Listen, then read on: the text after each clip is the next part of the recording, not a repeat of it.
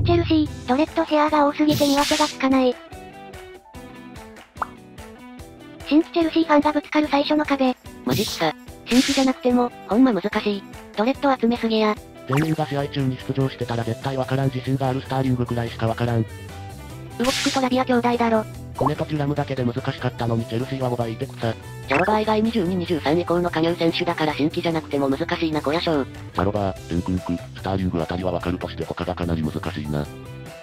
左上から順にサントスマドゥエケチャロバーグストディサシチュクエメカスターリングエンクンクウゴチュクラビアにしてもなぜこんなに似たような髪型の選手が多いのかドレッドヘアが特に多すぎる。こんなん試合中見分けるの不可能やろ。リースがドレッドに戻したら笑い転げる。分チェルシーファンの髪型もだんだんこれになっていく。